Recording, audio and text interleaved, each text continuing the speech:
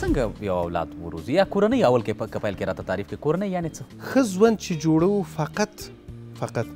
برنامه مخکې ولرو سبا نه بجې ما موږ ته باید معلومې چې زه کوم کار کوم تدریس دې څومره اړ کوي مطالعې ته استاد دا امکان نه لري چې وایي ولا په دې باندې نه یم پوه نن به نه وایم بله ورځ به وایم یا فلانی دی راسره کومک.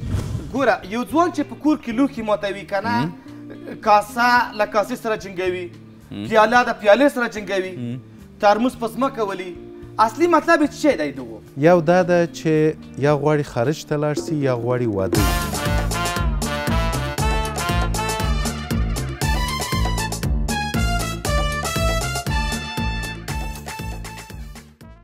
سلامونه ستړي مشئ ښه راغلاست د سپوږمۍ خپرونې ته سپوږمۍ خپرونه پیل شوه زه خیبر الکوزه یې درته وړاندې کوم دوستانو په نن سپوږمۍ خپرونه کې هم یو ځانګړی میلمه لرم چې دا ځانګړی میلمه ارواپوه او د پوهنتون استاد سید عبدالله حسیني دی سید عبدالله حسیني په کال دیارلس سوه اویا کې په کابل کې وزیږید لومړنۍ زده کړې د لیسې دورې پورې دوستانو د کابل په تومهخانکي انسټیټوټ کې ترسره کړلې. د دې ترڅنګ دوی د ارواپوهنې په برخه کې هم لوړې زده کړې کړې دي او لوړې زده کړې په آلمان کې ترسره کړې دي. یوازې په دې برخه باندې تکا ونه کړله او د کابل کې د ژورنالیزم پوهنځی هم لوستی دی. دا چې په خپل ژوند کې کوم کارونه تر سره کړي دي، د ژوند رازونه یې څه دي، د ژوند د رازونو تر څنګ د دوی په کړو کارونو هم ورسره خبرې اترې لرو. راسره پاتې شئ او نن خپرونه کې به ورسره خبرې اترې ولرو. مهرباني حسیني صاحب راځئ د خپرونې سیټ ته چې دلته نن د زړه خواله وکړو.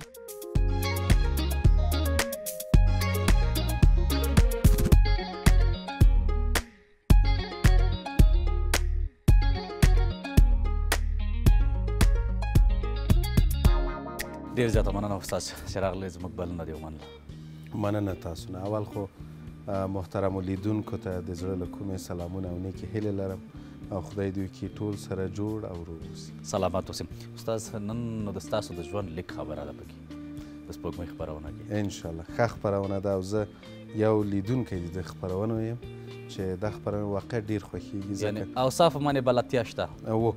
یعنی دا خپرونه ځکه موږ ته هغه د افغانستان کدرونه معرفي کوي او زه همیش کوشش کوم د خپل وطن کدرونه وګورم او وپیژنم سلامات اوسې نو ستونزه خو نشته پښتنو کې نه نه ښه صحیح ده چې اول تعهد واخلو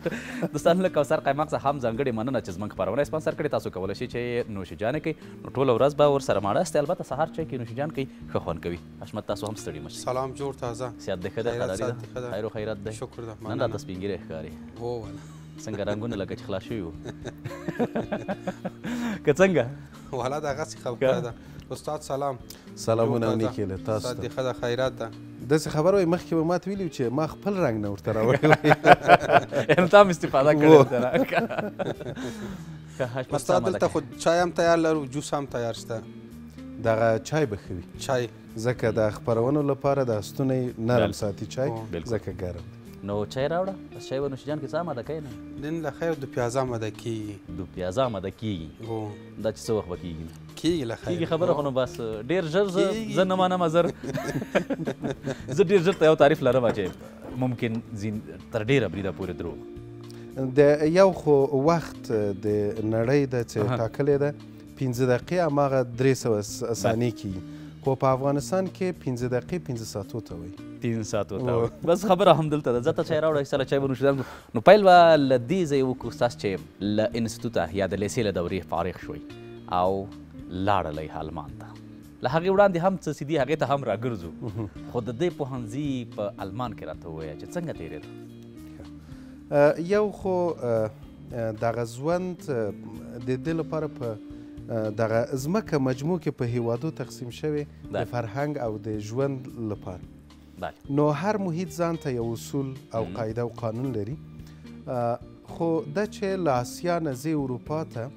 هلته یو ډیر تفاوت شته ډیر تفاوت تفاوت د ژوند د کولو او د اړیکو د ساتلو بیا بالخصوص د یو هدف لپاره تللی د درس لپاره بیا د محیط درته ډیر قید وي بالکل. ځکه هر شی وخت درته منظم وي یعنی شپږ میاشتې اول چې موږ باندې په ژبه په کار کولو او محیط نم ګټه نه سو اخیستلی ځکه په ژبه ورسره بلد نه وو او دغه م، آلمانیان په مجموع کې ځکه تاریخ د آریایانو لري له افغانانو سره ښه اړیکې لري خوب نژادي ډېر خاصیت لري بالخصوص یعنی په ژبه کې ډېر متعصب دي په انګلیسي به پوهېږي در سره نه غږېږي دا خو ده نو په خپله ژبه در باندې کوشش کوي چې په رضا که نه سي په زور یې در باندې ومني نو دغه ژبه مم چې زده کوله بیا موږ ته یو چا ویلې دغه ډېر سخته ژبه ده جرمني په موږ یې کله چې کار کوو بیا به یې موږ ته ویلې چې هغه وکړه محیط نه ډېر کار واخلي بیا به محیط ته ورتو هلته به مشکل سره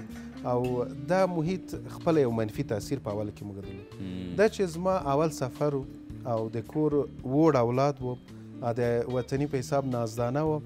دغه ژوند کې ما ته لږ تریخ و دا سفر تریخ سفر خو تریخ سفر په اولو کې خو وروسته وروسته په دې چې پوه سو چې نه په ژوند کې باید سړی زحمت وباسي که غواړي یو چیرته ورسېږي او ځان یو شی جوړ کړي نو دغه د وخت په تېرېدو سره بیا عادت شول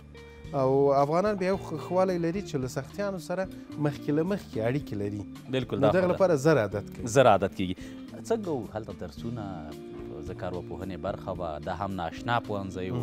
ځکه د نورو برخو به یا چا ویل یا به څه ویل یا څه نه وو یو څه به ویل خو هلته د اروا پوهنه او په دې باندې روح او روان باندې خبرې روح به یې لا پرېږدو خو روان باندې خبرې دا هغه څه دي چې بیخي بیخي ناشنا خبره وه هغه وخت کې حتی افغانستان کې دغه پنځای موږ نه درلود پس لږ دا پنځای جوړ سو نو ما ته هم ډېر ناشنا و خو ما چې لږ مخکې مطالعه کړي و ځکه دغه یو خبره ده که غواړې چې په خپل وطن کې یا محیط کې لږ متفاوت اوسې باید متفاوت شیان زده کړي همدغه مې پوښتنه وه دلته اصلي مې د پوښتنه مې هدف همدا دلته دا و چې ولې دې دغه رشته وټاکله؟ ځکه افغانستان کې هغه وخت نه وه، د ناشنايي حالات کې ته لاړې ارواپوهنې ته. محیط کې موږ ډېر ضرورت ورته وو. بله. تر اخرین حد دا نن هم ضرورت ورته لرو او په هغه وخت کې لا ناشنايي وه ډېر ضرورت و. بلکل. خو ما کله چې دغه رشتو لپاره کله دا تصمیم چې ونیول شو زه له وطنه دباندې باید درس ووایم نو ما کوشش وکړ چې داسې یو شی ووایم چې هم زما د وطن ضرورت رفع شي او له هغه نه مخکې یو متفاوت شی وي. ځکه که هغه ځوانان چې زما غږ اوري که غواړئ متفاوت ژوند شروع کړئ او ښه ژوند شروع کړئ هغه کار وکړئ چې نور هلته درېدلي دي وایي چې نه کیږي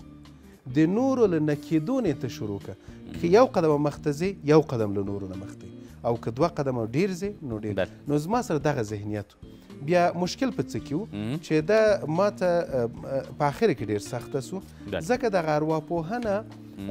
د یو محیط فرهنګ پر ډیر اړه لري بالکل دا خو ده نو په هغه حساب باندې د هغوی فرهنګ له موږ سره ډیر ځمکه او اسمان فرق درلود دغه درسونه هم لږ راته ناشنایي کوله بیا به ما څنګ کې څه کوو دغه د افغانستان فرهنګ به مې ورسره مطالعه کوو چې دا ربط ورکم هغه مشکل چې لارښوونې موږ ته کیږي دا مستقیم ارتباط ورکو د خپل فرهنګ سره بیا دغه لپاره دغه خپل محیط مې بیرته پکې پیدا کاوه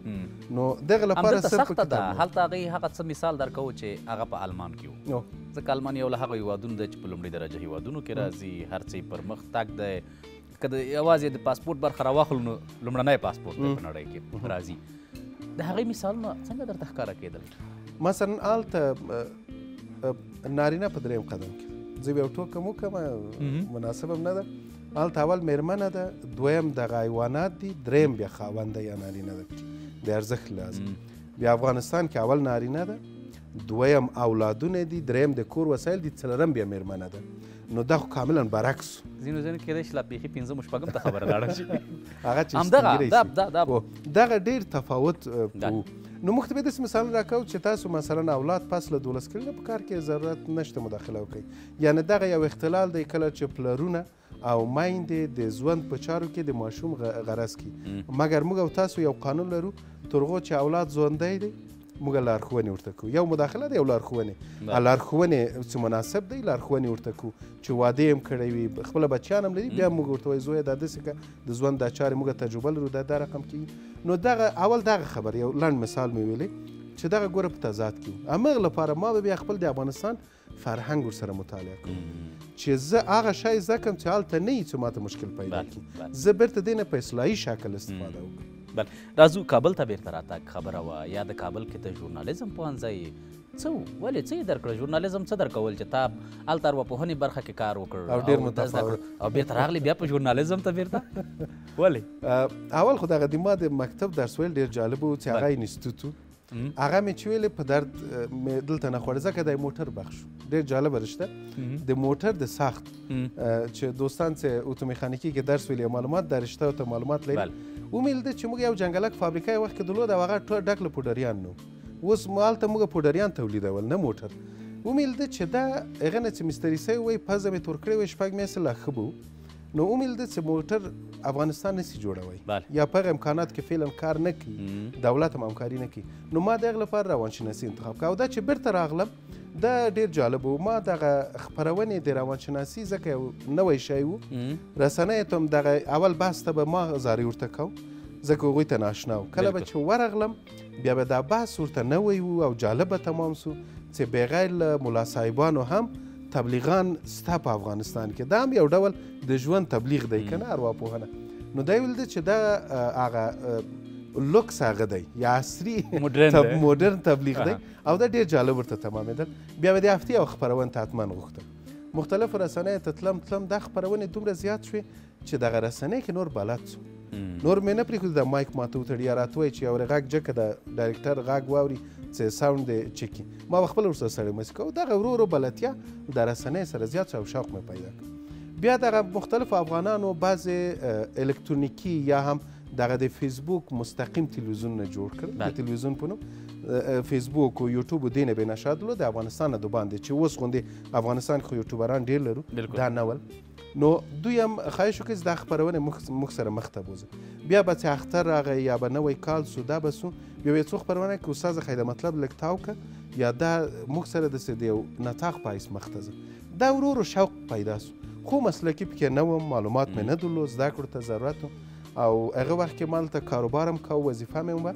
خو دغه سهار ټایم او د ماښام ټایم د شخصي پوهنتونو کې دا زمینه راته مساعده کړه چې بغیر له رسمیاتو نه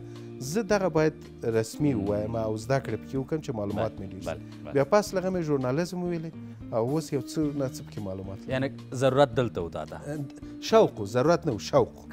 شوق هم ضرورت شو هم شوق هم شوق سو هم ضرورت دواړه و دغه لپاره دا دوه رښتینې ډېر فرق لري بدلون یې راته وایي څه بدلون یې راوست ځکه دوه رښتې دي هلته ارواپوهنه هغه هم په بل ملک کې بهر کې بیا په اروپا کې اسیا هم نه او بیا دلته په افغانستان کې. ارواپوهنه په افغانستان کې ډېر د رسنیو له طریقه مخ ته ځي. بله. موږ فقط یو خاص پوهنځی کابل پوهنتون کې ورته لرو چې هغه محدود دی فقط د استادانو او محصلینو ترمنځ زده کړې پکې کوي نور داسې مرکزونه اوس تاسو کله تعلیمي مرکزو ته ځئ هلته انګلیسي وایي ریاضي وایي دیني علوم وایي دا وایي یعنې د ارواپوهنې لپاره داسې آزاد مرکزونه نشته یا دغه سیمینارونه به چې ول دې ته خلکو ډېر زړه نه ښه کوي تر اوسه هم وایي مثلا دوه سوه درې سوه روپۍ په ناخ شای مصرفوي خو پنځه سوه روپۍ یا سل روپۍ چې یو ټکټ د یو سیمینار وي د د ارواپوهنې د ژوند دې ته څوک هغه نه کوي ځکه نوی شی د تروش عام شوی نه ده او خلک دا یو اضافه مصرف بولي حتی پنځوس افغانۍ نور ته تېر نه دی نو په هغه حساب باندې بیا دلته رسنۍ سره ډېره اړیکه لري نو دلته ما ویل چې دغه تا مخکې خبر یو ضرورت هم او دا سر ربط لري نو چې رسنۍ غواړي د خپل یو مسلک مخ ته بوزي خو رسنۍ هم باید وپیژني نو دغه لپاره ما دا ورسره انتخاب کړ چې تغیرات کې راغلم تاسو د موټر یاد وکړله چې ما په تخنیک برخه کې هلته زده کړې کړې دي دې ته هم راځو بیا تدریس سره د شوق ډېر په اول کې په کورسونو کې بیا په مکتبونو کې دې ته هم راځو خو اوس دوستانو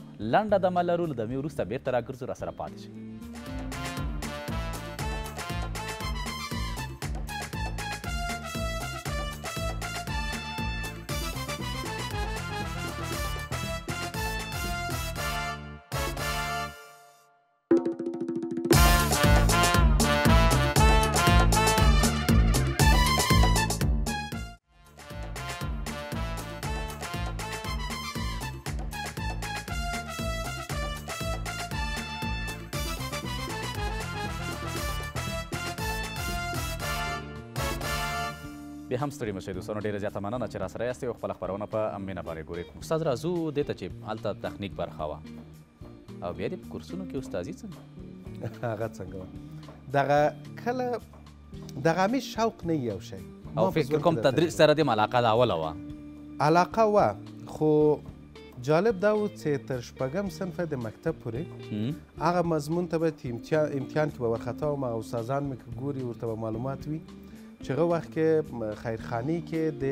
سنګي په نوم یو مکتب و چې اوس نوم محمد انور بسمل دی چې ادرس دقیق نو مکتب کې چې هلته وم دغه ریاضي به ډېره سخته راته تمامېده او بیا د ریاضي استاد یېدل دې ته دلته او استادان ته معلومات چې زه به سخت وارخطا وم ریاضي مضمون ته او همېش به دغه زه د درجې نه به هم څه لوېدم د ریاضي په نمرو کې به لوېدم ځکه ټیټې نمرې به مې پکې اخیستې آفرین خیر او نو پس له هغه تصمیم په دې ونیول شو چې زه باید ریاضي زده کړم یو خو مې تصمیم. پلار هم استاد و اه، ساینسي بخش کې و اه، پلار نه زده کېږي په کور کې دا خو دا نه پوهېږم څه څه چل څه ده علت پکې. ده؟ یا د مېرمن- ارواپوهنې په دې تر اوسه نه ده شوې بریالی شوې بریالی شوی زده کور کې مې پلار همیش راته فشار هم راوست او د پښتنو خو رواج دی چې اول په ورو یې بیا په وهلو یې یعنې هغه دوه مرحلې مې مکمل سپري کړې وې خو بیا هم نتیجه یې ورنه کړه خو وم صرف ته چې لاړم نو دلته زما د یو ماما زوی دا میان صنفی شو او دلته چې هغه رانه مخته سو په چارنیمه امتحان کې نو کور کې مې کله شوخي کوله بیا مې یادې راتویلي وشرمېږه لغنه له تا نه مخته شو که دا شرمېدلې خبره خبره دا شرمېدل مخه ځای نه مخه شروع رقابت منځته سو او دا یو ډېر لویه تانه وه راته زه لږ شوخ هم وم د شوخي بس نور خبره به نه وه همدا یو خبره به بس ته به مې ارامه کړلې و زه به هم غلی سوم نو ځان مې ګوښه که څه رښتیا وایي سره نو دلته لاړم د محترم استاد نوم هم باید واخلم محمد عظیم خاموش چې یو وخت کې په کابل کې فقط دوه کورسونه ول نو د ده کورس ته ورغلم ما له استاد دغسې مشکل لري او وایي نیت لري ما له او زده کوای سي نیت چې ولري زده کوای سي په ظرف دی یو کال کې مې دغه ریاضي مکمله تکمیل کړه د کورس په هماغه سیستم باندې څنګ کې مې فزیک خو نیمه محاسبه دی وي دا فزیک مې بیا له پلار ویلې ځکه په ریاضي نور پوه شوم د محاسبه کې ما مشکل درلود دا دواړه مې چې زده کړه خبر همداسې ورو ورو ورو ورو دا خلاص شو یو دوه کاله همداسې مکتب کې نمرې مې هم ښه سوې و استادان هم تشویقولم ځکه له صفر نه راغلم سلو ته نو دا یو ډېر تفاوت استادان هم تشویقولم خبر لسم صنف ته راورسېد لسم صنف ته چې راورسېدم نو د پلار یو ملګری مې و هغه یو کورس جوړ کړ دا پلار ماته ویل وایي ګوره دغه درس او رښتیا هم همداسې ده بله دومره په ویلو کې نه زده کېږي دومره لکه چې په تدریس درس کې. تدریس کې زده کېږي بالکل نو دلته مې هغه ځکه لسم کې وم دغه ابتدایي ریاضي حساب له هغه نه پورته مې حق هم نه درلود شاګردانو ته درس ورکړم هغه هم دغه څلورم و پنځم و شپږم صنف شاګردان ویل نو دلته مې درس شروع کړ اولین ماش یې څه راکړ ډېر خوندور و خوږ و. ډېر خوږ و، هغه هم چې متعلم اوسې، بلکل هغه هم بلکل. له هغه شي نه معاش واخلې چې اول پکې خپله دې مشکل درلود، د تنبل نوم در باندې، تنبل نوم در باندې کور کې دې طعنه وه، نو دا شوق راته پیدا شو، دغه پیسو او د دغه د دغه مصرف او داسې کور کې ځکه زه لږه لا خرچه مومه، دا کور کې پلار په دې تشویقولم چې د مصرف نه خلاص شوم آفرین زوی صنفونه دې زیات که زیات که فقط دومره مې وخت و چې خپل درس مې ویلی او خپل متوقع کارخانګي وغم مې د شپې کو د ورځې به نور ټایم چې پاتې کېده مکمل په کورسو کې دا مخته لاړ تر دولسمه پورې دولسمه چې خلاص کې بیا سفر منځته راغی بیا نو بیرته راتګ پورې د تدریس ته وقفه شو ښه بیا هم بیرته چې راغلل د دې ترڅنګ چې ژورنالیزم د شروع کړ بیا هم په مکتب کې استادي بیرته چې راغلم بیا هم یو مکتب ته لاړم معلومات هسې درس ویل یو هغه ده له دولتي ارګانو سره مې له اوله هم شوق نه او دا اوس هم شوق نه لرم او دلیل خاص دا دی چې نوره نړۍ کې دغه سیاست چې تغییر کوي خلک یې تغییر نه کړي بالکل نظام په خپل ځای په خپل ځای وي فقط انتخابات یا هر سیستم دولتداري چې وي نفر تغییر راځي او ټول هغه یو سره خدای پاماني کوي او دا بل ته ښه راغلاست وایي خو افغانستان کې تر هغو چې جنګ ونه سي چوکۍ نه بدلیږي او هغه تیر نظام کې څوک چې کار کړی وي دا نوی نظام بیا چې ورته راځي هغه دښمنان وي او دا قانون د افغانستان تاریخ کې دی صرف دا دوره مې هدف نه دی دغه د افغانستان دا تاریخ چې ټول چې وګورې په همدې ډول دی او یو بل بدبختی چې دلته بل بحث نم لګ د باندې سو سیاست تمزه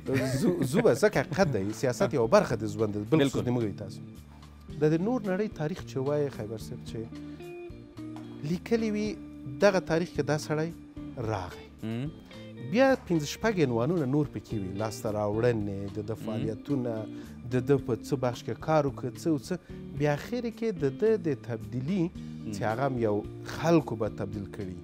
یو بل څوک به راغلي په دې خلاصېږي د افغانستان دغه اوس د افغانستان معاصر تاریخ خلک واخلي ودې وایي درې خطه دی یو دا چې راغی قتل یې وکړ یو څوک یې مړ کړ مخکې له دې چې دا په چوکۍ کېناست نور لاسته راوړنې نشته فلانی جی کې وجنګیده له دې سره یې جنګ وکړ له هغه سره یې جنګ وکړ له هغه سره بیا جګړو یو تاریخونه ښه ذکر کیږي هغه ذکر بیا اخر کې یو بل راغی دی مړ کړ بیا د ده قدرت نظام خلاص د تاریخ بیا د هغه تاریخ شروع ښه دلته نو یو قاتل نه سړی څه ګیله وکړي هغه چې راغلی په قتل باندې نو معلومدار د هغه لپاره د افغانستان تاریخ کې لاسته راوړنه نشته بله بله نو برته به په سوال راسم چې لږ لباس هم د باندې سو نو دغه تفاوتونه دلته ول او دا حکومت که د ما له اوله خوښ نه و تر ننه پرې شکر حکومتي نظام په یو کې مم کار نه ده کړی او دا شکر بس نو په هغه حساب باندې شخصي ارګانو ته لاړم مال دغسې درس مې ورکړی او په دغه رشته کې خلاص یم او دا رشته نوې ده تر هغو چې دا څنګ ته زه کار کوم اوس دې د یو مړۍ ډوډۍ لپاره یو ضرورت لرم بیا یو خصوصي مکتب ته لاړم نوم به نه خلم ځکه سپورت نسی دلته ځکه خصوصي دی د کال سرم دی نو لاړو هلته یو درې میاشتې مې اول شاید درس ورکړي دغه درس کې ما بعضې پیشنهادات دوی ته وکړل چې دغه سیستم دا رقم جوړ کړي دا وهلو لاس واخلئ ځکه هلته د ارواپوهنې رشته مې ویلې وه او تجربه هم راسره وه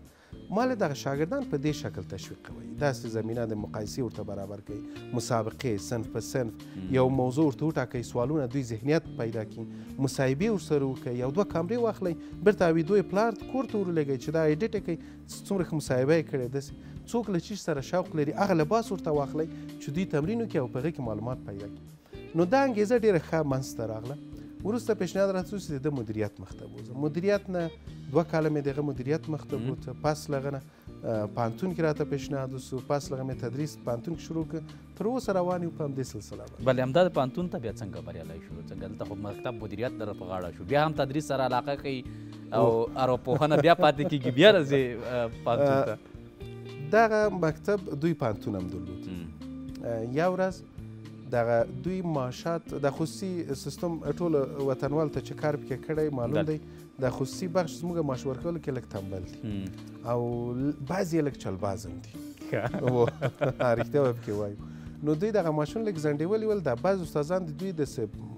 مکمل هغه وکړه یو لس نفرو استعفا ورکړه او سل ته ننوتل دوی دفعتا ځکه سمستر روان او ضرورت استاد ته پیدا شو یو رشته کې چې حقوق و د روان د جزا د ده مضمون استاد هم په دې جمع کې او دا مضمون درې ورځې تېرې وې تازه هم شروع شوی راغ د مکتب بخش نه معلومات اخیستي چې اوس موږ ضرورت لرو تر هغو چې استادان پیدا کوي او څو ورځې موږ سره همکاري وکړي ما ته ویلې ستا خو ارواپوهنه هم ویلې دغه د جزا بخش کې څنګه معلومات لري هغه به قضایی بخش د جلا ده او بالکل خو ما لږ مطالعه رښتیا مې نه و خو لږ مطالعه مې پکې کړې ول معلومات لرم ما له قضیه ورځ سم ته امتحاني زم بس لږ له محصلینو پوښتنه وکړه چې زه مو نه شرمېږم که مې تدریس پکې ښه نه او که ښه بیا به زه مخ ته سم مخ ته بوزم ښه نو همغه ورځ لاړم بیا محصلین ورغلي وو چې هغه پخواني استاد هم همدغه معلومات هم ښه لري او ډېر ښه تفسیر موږ ته راکړي نو دا د هغوی خبرې وي چې همدا د مخته درس ټاکي بیا له هغه نه نور له مکتبه را خلاص وم راغلم پوهنتون بخش ته وروسته څخه ویل چې تا خو ریاضي هم تدریس کړی بیا اقتصاد پوهنځي کې مې ریاضي د محاسبې درس ورکړ چې هغه بیا د ساده ریاضي سره فرق درلود بلکل خو زه مجبور کړم چې خپل اول مطالعه پکې وکړم او روزمره مې آمادګي ورته نیو اولنی صنف لږ سخت تاسو د مجبورۍ خبره راته سره کړله تدریس دې څومره اړ کوي مطالعې ته ډېر ځکه که یو شاګرد یا یو محصل راجګیږي او استاد یو پوښتنه کوي او وایي چې ولا پوه نه سوم یا ځواب یې نه پوهېږم ځکه زمینه ورته شته هلته مقابل کې یو استاد ورته ولاړ ده چې پوه کړي خو استاد چې صنف ته ننوځي او غواړي تدریس وکړي دلته امید او د ارزو د ټولو محصلینو او شاګردانو دا ده چې هغه یې وروښيي استاد دا امکان نه لري چې وای ولا په دې باندې نه یم پو نن به نه وایم بل ورځ به وایم یا فلانای در سره کومک بهانه نشته خو بهانه نشته کنه که سبا وای به زوا به وای نو دلته مجبوري چې آمادګي ورته نیسي یعنی ته هم پریازي کې مجبور کړې چې سل فیصد ډېر ډېر مننه دوستانو له تاسو هم نړۍ مننه چې راسره استئ لنډه دمه لرو له دمې وروسته بېرته راځو راسره پاتې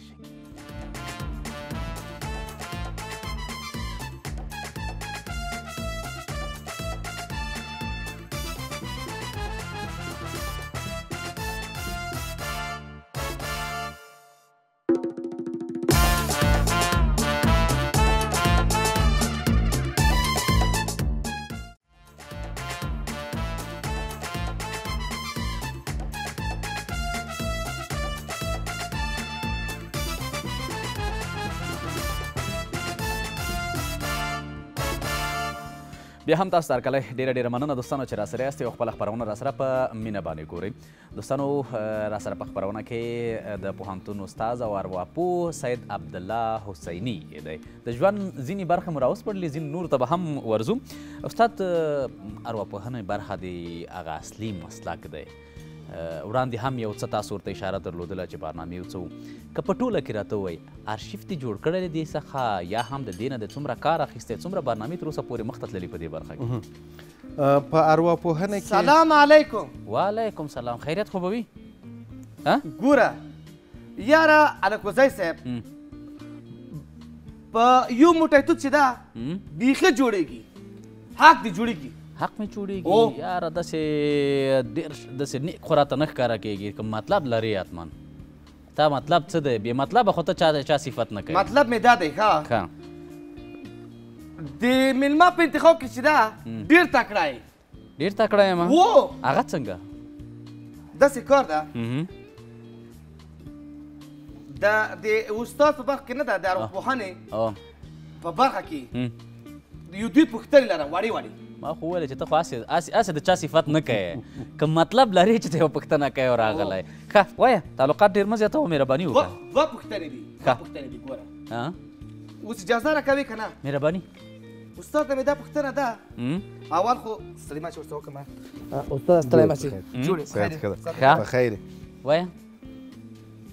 ګوره یو ځوان چې په کور کې لوښي ماتوي که نه کاسه له کاسې سره جنګوي پیاله د پیالې سره جنګوي ترموز په ځمکه ولي اصلي مطلب یې څه دی دغو استاد بصیر کې ډېرې خطرناکه پوښتنې راوړي دي خدای دې خیر کوي لکه چې لکه چې د واده دې خبرې خپل پیږي خپل پیږي خو غواړي زی وای ته وای کورنۍ ته اول رسي ته ورته استاد سدي اول خو ښه راغلاست درته وایم مننه خدای دې همیش ژوندی لره افغانستان کې یو شی کم دی چې خندا ده هغه داسې ځوانان موږ ته راکوي او دا یو لوی هنر ده خدای دې همیشه خوشحاله ساته چې ټول لیدونکي خندوي او دا چې لوښي ماتي دلته دوه خبرې دي زه غواړم د اقرار په شکل اوس درته پیدا کړم یو دا ده چې یا غواړي خارج ته لاړ سي یا غواړي واده وکړي هدف دې دلته کوم یو یاره د ما په نظر زه چې څوم اصلي هدف دې چې وي خو خارج خو ته ته ووایه ته ته ته ته د اقرار ترې اخیستل لږ سخت دي نه نه د ارواپوهنې له نظره ووایه کله چې سړی له مغز کې کوم خبره وګرځي نو هغه معلومدار د زبې په وسیله ویل کیږي. بله بله. نو بعضې مسایل دي بیا دغه ارتباط د زبې او د مغز سره قطع کیږي ځکه شرمیږي نسي ویلی بیا نو د لاس نه کار اخلي. بیا دغه راځي کته لاسو ته راځي نو دا شای مات که هغه شای مات که از زړه خبرې کوي نو پلرونه او میندې کله چې ګوري ځوانان شیان ماتوي نو بیا ترې پوښتنه وکړي زویه چیرته لاړ سو دغه بیا اسانه لار وي. ښه ښه بله پوښتنه لري؟ نه یوه بله پوښتنه هم لرم.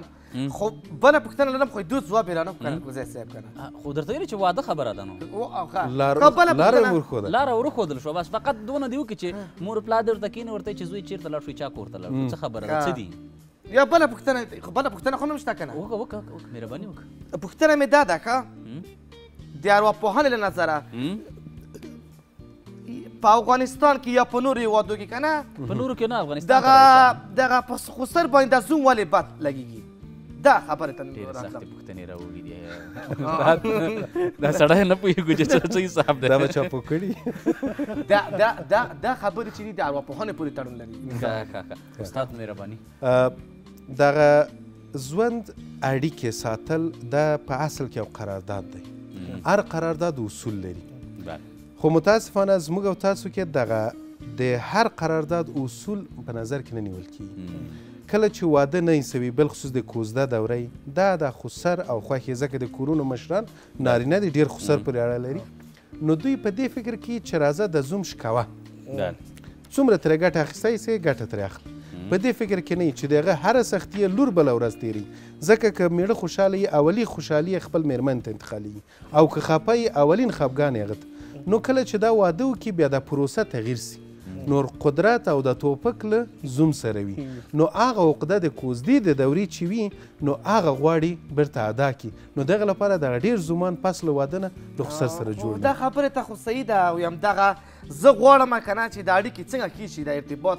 یعنی خواږه شي زه په دې به موږ خبرې وکړو زه تلاړ شم خو زه اوس لاړ شم او زه تلاړ شم چای مې خر وړی ده او پرې چې مې دوه ځواب زه غواړم مال کو زه که زه د کورنۍ ژوند باندې راځو چې څنګه دا روابط جوړ کو زه زه به ورسره راشم استاد سره زه تلاړ شم استاد مخکې مې ویل چې څومره برنامې شوې دي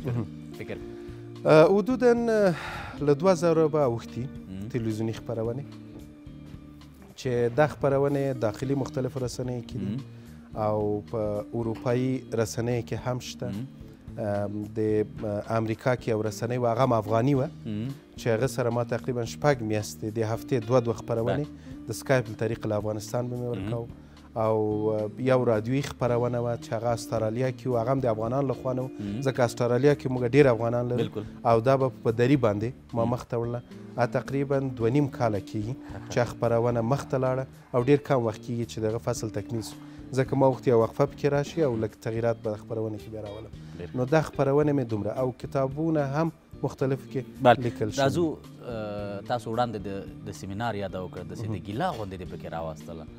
چې ځو بازار ته هر څه خورو هر چیرته ځو چکر وهو خو د یو علمي خبرې دپاره د یو علمي آثار د راسپړنې دپاره چې غواړو یو پنځوس روپۍ ټکټ نه اخلو څومره څومره سیمینارونه دي ورکړي څومره پکې تاواني شوی بعضې اوقات داسې شوي دي چې ما تقریبا پنځه زره یا شپږ زره افغانۍ د مصرف لپاره یې ټاکلي دي ځکه په دې متیقن شوی یم چې د ده مصرف ما ته بیرته نه راایستل کیږي ومیل ده چې ټیکټ اته خلک نه حاضرېږي بل بیغي مې رایګان اعلان کړ چې حداقل دغه یو ورې دا معرفي کم خلکو ته چې راسي متاسفانه په افغانستان کې څو هغه لرو اشتباهات موږ لرو یو چې چاته وایي ډاکټر ته ځم وایي حتما مریض او چک عمومي په موږ کې رواج نشته بالکل او کورنۍ ډاکټر یو هم نه لرو دا خو ده نو دغه ذهن هم یو ډاکټر ته ضرورت لري واقعیت د ذهن ډاکټر ارواپوه دی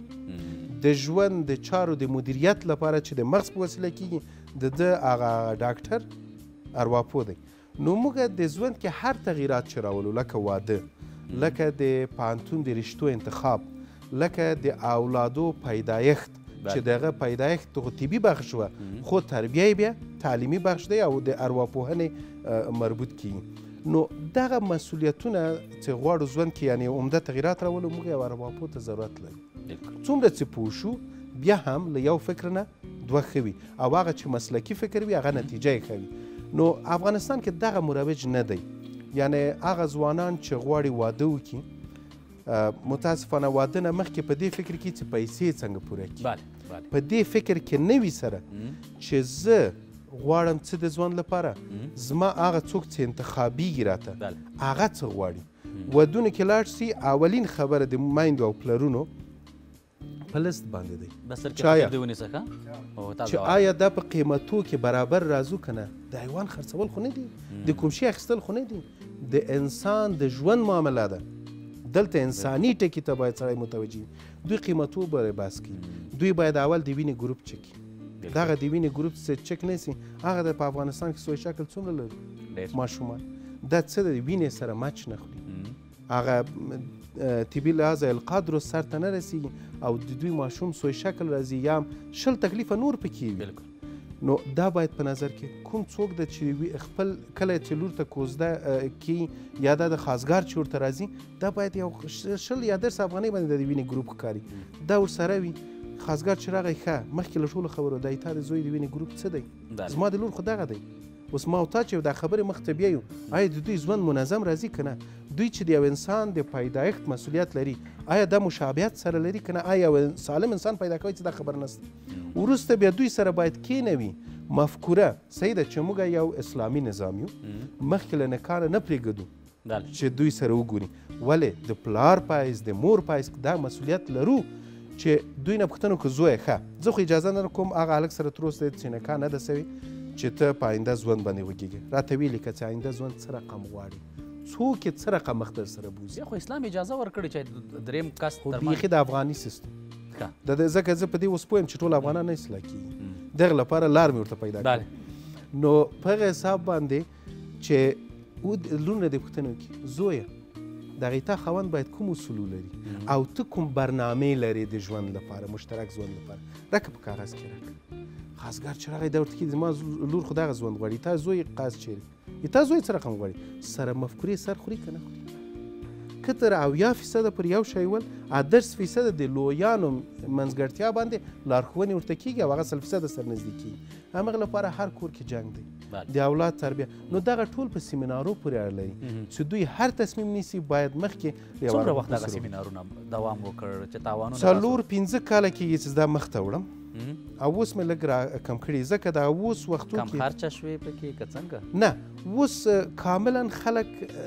لارو ته نه پیدا کړي اوس ما لار عوضي پیدا کړې چې رسنۍ دي ښه ښه ښه یعنی رسنۍ دې اوس اوس غواړم هغه سیمینارو ته څوک زړه نه ښه کوي چې مستقیم راسي راتګ دی او تګ او دی مسله نو ده دغه رسنیو له طریقه اوس ښه. دغه تاسو سره یو بس چې لږ مثلا روڼ سهار نو په بله. دې کې څه لرم بیا ده زه حتی فیسبوک کې مې نشروم ښه. په هغې کې چې په یو ډول حداقل یو څلور نفره ته ورسي بله اه، اه، چاپي اثارو ته به دې لاړ شي څو کتابونه چاپ شوي په کومه برخه کې دي هلته هم ژورنالیزم ته پکې را- راتاو کړی او که نه نه هغه مې پکې نه درته وکړ ځکه ژورنالیزم نه مې لږ وخت کېږي ترجمه مې کې کمه ده نو اول خو مې ریاضي بخشو کې کتابونه ولیکل د آمادګي د کانکور لپاره بعضې سوالونه وو بعضې فورمونه وو دا هغه نو مختص د بازار لپاره نه ول عام المنفعه نه وو فقط د ځانګړو محصلینو لپاره نو هغه کتابونو بیا مې ارواپوهنه کې یو اثر چې اول ولیکه اولنی اثر مې نن تاسو ته راوړی په دری باندې نوم دی چې سوالهای زندگی موفق چې نمونه هم دا د تاسو سره شته نو دا ډیر جالب و د رسنۍ تلم او عنوانونه هم ډیر جالب دي د سوال په شکل دی نو دا چې ما کله د رسنۍ تلم خو معمولا رسنۍ کې د ارواپوهنې بخش ده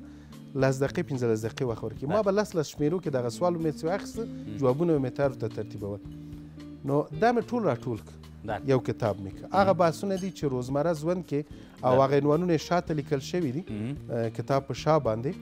چې په کوم مسایل چې ډیر مهم دي ځوانان ته او زموږ په جامعه کې په ده باندې مې مثلا هر یو کې لس سوال دي چې هر سوال مې لس یعنې سل ځواب په یو عنوان کې دي بله دلته د د تاسو د عنوانونو یاده وکړل اول اعتماد په نفس یا اعتماد په نفس دا دا خبره پکې ده دا رامنځته کیږي ولې علت څه د چاولین عنوان د اعتماد په نفس باندې ټاکلی دی؟ ځکه موږ یې نه لرو. نه لرو. نه لرو. موږ همیشه چې کور کې مجلس کوو، په جامعه کې مجلس کوو، په په یو موضوع باندې رسنۍ کې مجلس کوو، همیش موږ د نورو نظر وایو. ځکه په ځان او په خپل مغز اعتماد نه لري فلانی ویلی چې دسې دی هغه دری کې یو زر مسل دی او دیدن بودن شنیدن کای بود مانند دیدن بالکل موږ که خپل ذهن نه چې هغه د لیدلو حیثیت لري که استعمال کو او په ځان دا باور ولرو خود باوري ولرو یا عزت د نفس ولرو بله چې انسان له خپل مفکورې نه ډیر ښه غږیدای سي بالکل او ډیر ښه ویلی سي ځکه هغه کې تجربه شامله وي او د نور له ذهنه چې غږیږي هغه فقط هغه معلومات دي چې له غوږه دی اوریدلی تجربه کې شامل نه هغه نو بې ثبوته خبرې دي هغه هوایي خبرې دي نو موږ لپاره د هغه لپاره به اولین عنوان اعتماد په نفس پیدا کړی نفس خو زموږ خپل بله. وجود دی او اعتماد خود باوري ده چې په ځان باندې بله، متاسفانه بله. موږ باور نورو لرو. کتابونو ته به راځو دوستانو خو اوس لنډه دمه لرو له دمې وروسته دې ته راځو چې نور کتابونه په کومه برخه کې دي او د ژوند ځینو رازونو ته به هم ورځو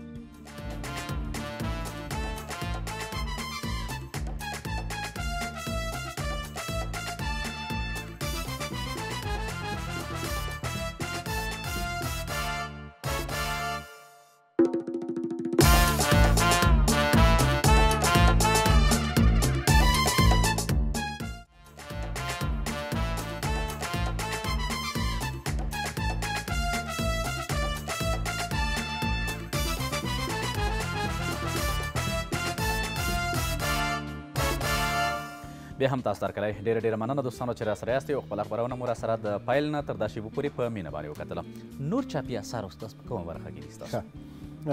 یو بل لاندو کې ځکه وخت ډیر کم دی محدود دی یو کتاب بل مم لیکلی چې څو کلونه مخکې چې هغه نمونه را سره نه و متاسفانه دفعتا راغلم خپرونې ته هغه هزار و یک پیام ده د موفقیت یعنی کوم مسائل ما د جامعه په نظر کې نیولي چې کوم شی موږ منفیزو او هغه باید څنګه په مثبت راتاو کو چې موفق سوب کې کامیاب سول نو هغه یو زر یو پیام ده ټول د موفقیت په باره ده او دوه کتابه نور مې د چاپ لاندې دي دا فعلا چې یو رواني اختلالات او دغه خپل ټیسټونه دي چې یو کولای شي یو څوک اول معلومات پکې وکړي او کتاب د مطالعه کې پس لغه د هر موضوع لاندې ټیسټ دی او لاندې کلید د ځواب هم دی چې څومره دا مشکل پکې شته کنه چې دا شی په افغانستان کې نو دمه لیکلی او یو کتاب بل دی چې هغه هم د چاپ لاندې ځکه دوه مې ویلې نو هغه چې دی دغه تربیه د اولادو مخکې له پیدایښته موږ تربیه لرو د جنۍ همدغه ځای کې به لنډ دوه پوښتنو ته ورشو دغه د اولاد خبره تر سره کیږي څنګه یو اولاد وروزي یا کورنۍ اول کې په کپایل کې راته تعریف کې کورنۍ یعنی څه کورنۍ د دوه انسانانو تعهد په مشترک ژوند او د نورو انسانانو پیدایښت او د هغه تربیه کول د انسان په توګه دا د کورنۍ تعریف دی په کورنۍ ژوند کې څه اړین دي اړین د فکرونو نږدې کول د خاوند او د میرمن او د نورو لاسونه لرې کول څه باید وکړو چې ښه ژوند جوړ کړو ښه ژوند چې جوړوو فقط فقط برنامه مخکې ولرو سبا نه بجې ما موږ ته باید معلوم چې زه کوم کار کوم ماشوم روزنه څه ده چې په افغانستان کې څنګه ارزي د ماشوم روزنه د یو انسان حق ورکول دي چې هغه د مور پلار مسولیت دی ډیر ښه راځو تفریح برخه ته تفریح کوي که نه کوي تفریح خو ژوند کې چې نه وي نه کیږي کومو ځایونو ته ځې تفریح ډېر دغه څو ورځو تېرو کې زه هرات ولایت کې وم او مسیر کې مې ډېر ولایتونه شپه مې پکې تېره کړه او افغانستان یو ښکلی هیواد دی او ژوند پکې دا خوندور دی چې ټولو کې زمی نه بله داسې ولایتونه لرو چې هغه د اوړي او پسرلي اوړی دی بلکل نو دغه لپاره دغه زموږ وطن څلور فصله وطن دی بالکل دا خو نو دغه لپاره تفریح معمولا ولایتو ته ځم او خپل خپلوان دوستان سته کورنۍ هم بیایي که نه یوازې تفریح ده کورنۍ نږدې ځایو ته بیایي لرې ته ځکه نه بیایم دغه لرې سفرونه تنها خوند کوي ته نه خوان کوي او ګور داسې به نه یګا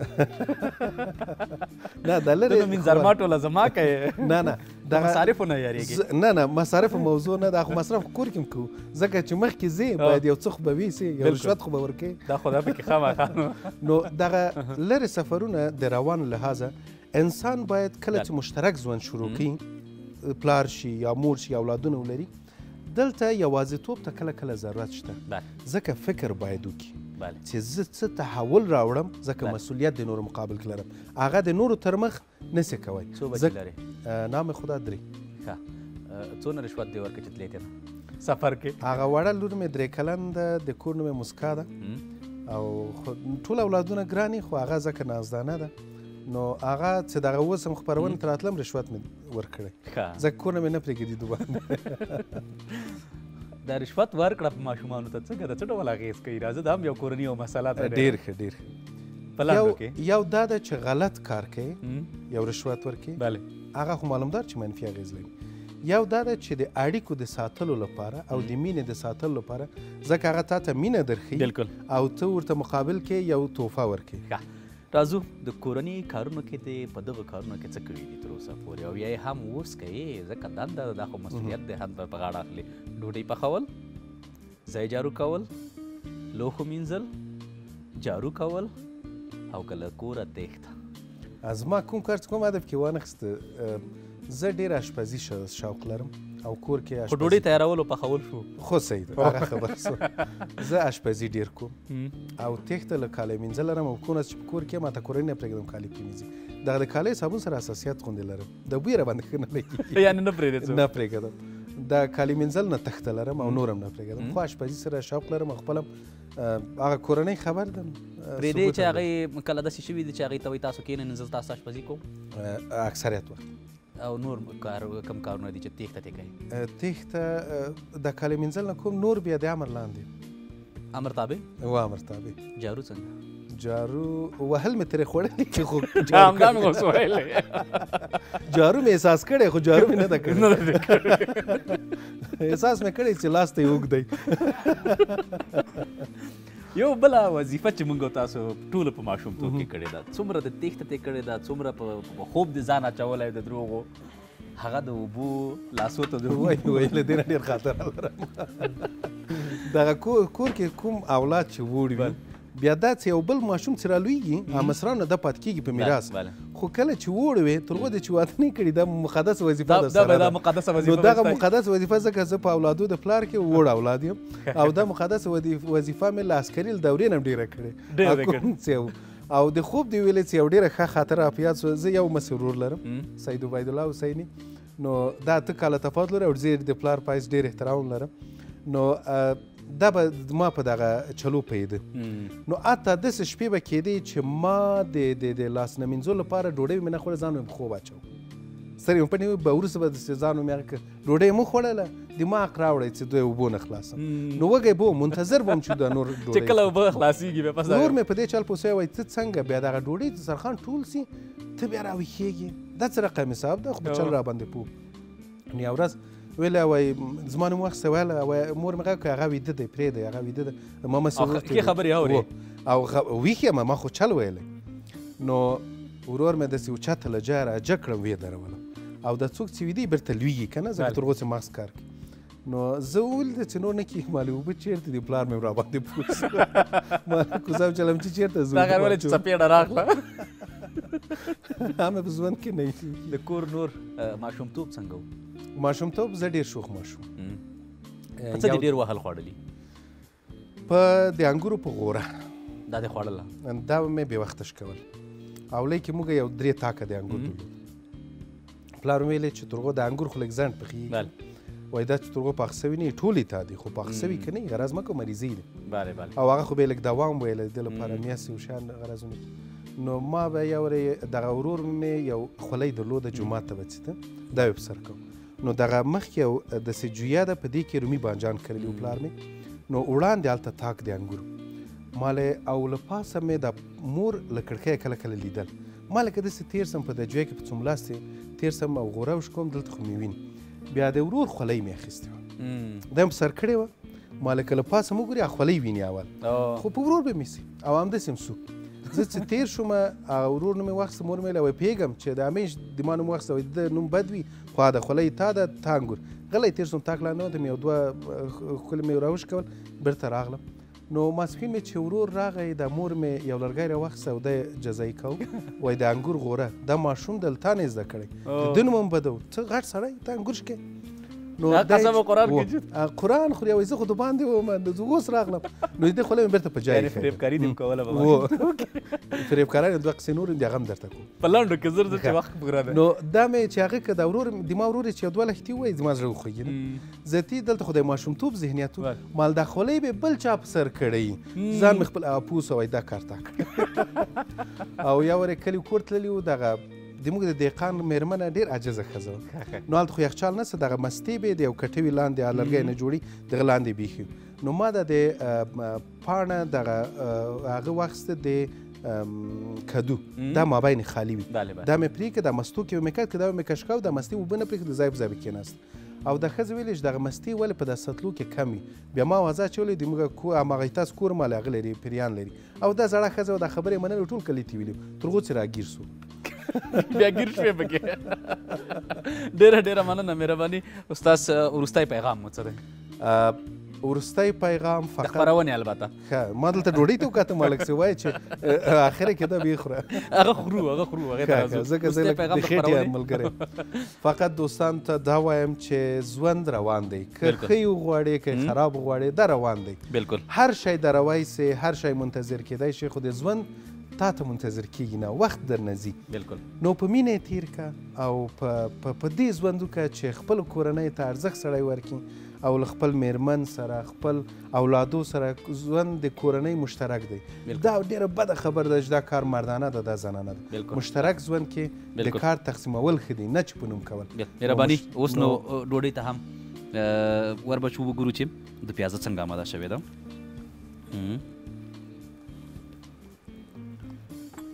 هغه یو چا یو ورځ لیکلی وای د دو پیازه وچه ډوډۍ په قاب کې له دوه پیازو سره وای دا د دو پیازه وه دوه پیازه وه دوه پیازه وه خو اوس دلته غوښه هم پکې دوه پیازه نه دا خو اصلي دوه پیازه وه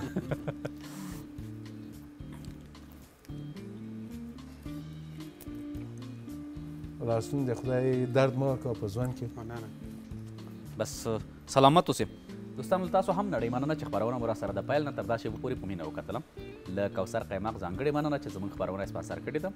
او تاسو یې کولی شئ چې هر سهار د چای په وخت کې نوشجان کې د چای سره نو ټوله ورځ به تاسو ورمانې ماړې یاستئ ستاسو خوند څنګه و ډیر خوندور سلامات زه فقط دې ته منتظر یم خبرونه خلاصې ده ټول وخورم بس ټول استاد ان شاء الله ورزم دیګی ته مر څه ورزم سلامات اوسې زه کاسبازي کې بلتیا ډیره ده بیا هم ډیره ډیره مننه چې راغله زموږ بلنه دی مننه سلام تاسو نه یو نه خیر اوسې اشمت له تاسو بسر کې تاسو هم مننه لیدونکو بیا هم له تاسو نړۍ مننه له خپل تخنیکی همکارانو هم ځانګړي مننه کوم چې زموږ سره تخنیک برخه کې همکاري کوي خبرونه هم دلته پای ته رسیدي تر بیا هم په لوی او بخون کې رب سپارم خوشاله شي